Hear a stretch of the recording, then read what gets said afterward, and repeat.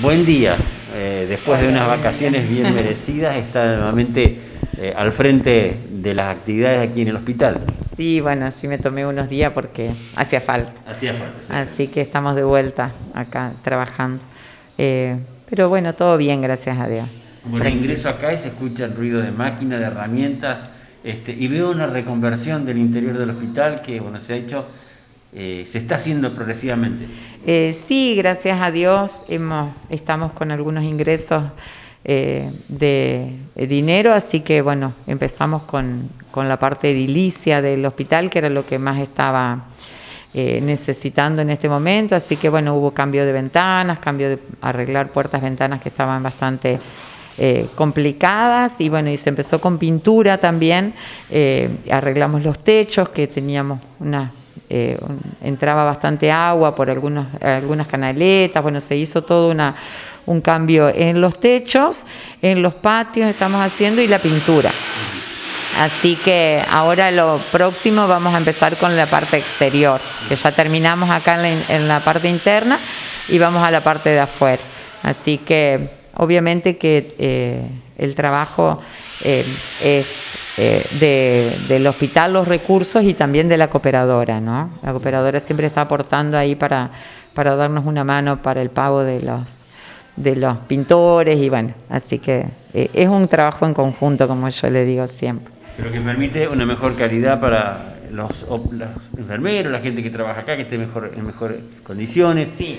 el paciente también o quien transite por el hospital. Sí, la verdad que obviamente que faltan mucho todavía y tenemos otros, otros proyectos, que el proyecto siguiente es el arreglo del office de enfermería, que es lo que nos estaba quedando un poco atrás, pero eh, tuvimos una, una donación de una familia de acá de Cerrito, eh, importante de dinero, así que ese dinero eh, va a estar destinado para, para, el arreglo del office de enfermería, al menos una parte, ¿no? Así que, bueno, estamos ya también con ese proyecto que es lo, lo que nos está eh, faltando. Vamos dando, tratando de hacer con prioridades, ¿no? Obviamente. Así que, bueno, pero estamos muy bien, gracias a Dios. Bien. Y bueno, vacunación, ya hablamos recién fuera de cámara, los adultos mayores han sido vacunados, gracias a Dios hemos observado que no hubo inconvenientes, hemos charlado con ellos, ha sido bueno, un buen resultado en esta, esta etapa. Sí, la verdad que los, adultos mayores en la vacunación fue una respuesta muy positiva. Eh, los, viejitos no han tenido casi complicaciones.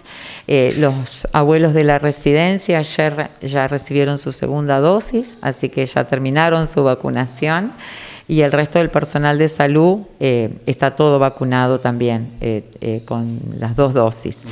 estamos ahora a la espera de hoy, probablemente ya van a llegar nuevamente vacunas, así que vamos a continuar con los adultos mayores de 70. o siempre en, en forma escalonada desde los más viejos a los más jóvenes a los más jóvenes dentro de los 70, ¿no?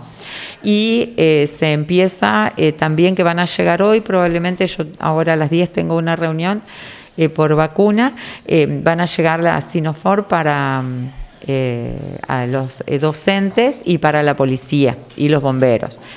Obviamente que eso también es con orden de prioridad.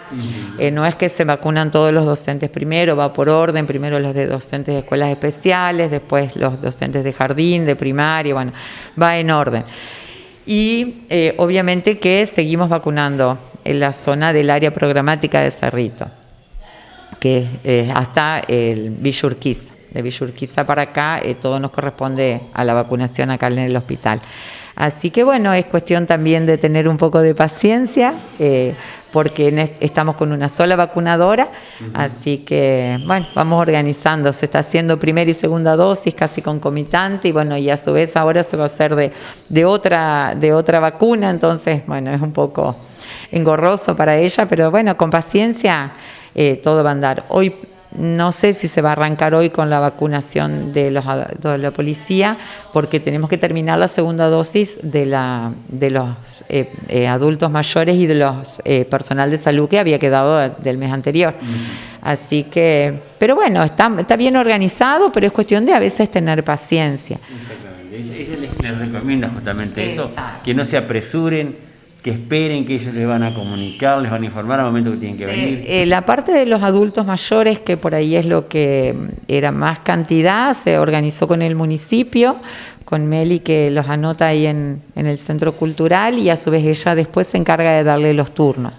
Nosotros el día de ayer recibimos el nuevo padrón de, de los que están anotados hasta el 11 de marzo, o sea que calculo que deben estar ya todos ahí. Eh, pero bueno, hay que tener paciencia, que, que, no se desesperen los abuelos ni sus familiares, todos van a ser vacunados. De todas maneras, ya claro, en esta primera etapa es solo para mayores de 70. Los menores de 70, porque ya me, ha pasado con algunos pacientes, los menores de 70, por más que tengan factores de riesgo, no se pueden vacunar en esta primera etapa. En esta primera etapa solamente es para mayores de 70 para personal de salud y se continúa con docentes, policía y bomberos.